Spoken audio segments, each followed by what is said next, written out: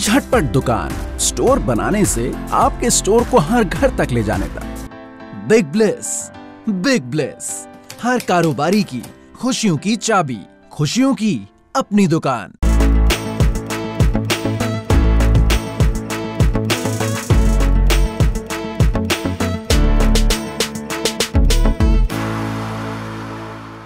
ये सिर्फ़ जी बात करें अगर सोयाबीन की तो सोयाबीन में देख रहे हैं कि विदेशों में सोयाबीन में बहुत ही अच्छी तेज़ी देखने को मिल रही है। 1700 डॉलर के ऊपर यूएस सोयाबीन वायदा ट्रेड करता नज़र आ रहा है। पहले के मुकाबले सोयाबीन में जो तेज़ी है, वो और ज़्यादा देखने को मिल रही है।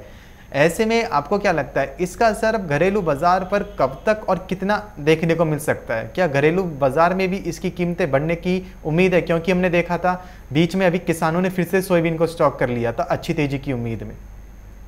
देखिए अभी उम्मीद तेज़ी की है और घरेलू बाजारों में भी मार्केट सपोर्ट लेते हुए दिखाई दे सकते हैं क्योंकि विदेशी बाजारों में हम लगातार सपोर्ट आते हुए देख रहे हैं और उसी का असर हम डोमेस्टिक मार्केट के ऊपर भी आता हुआ देख सकते हैं।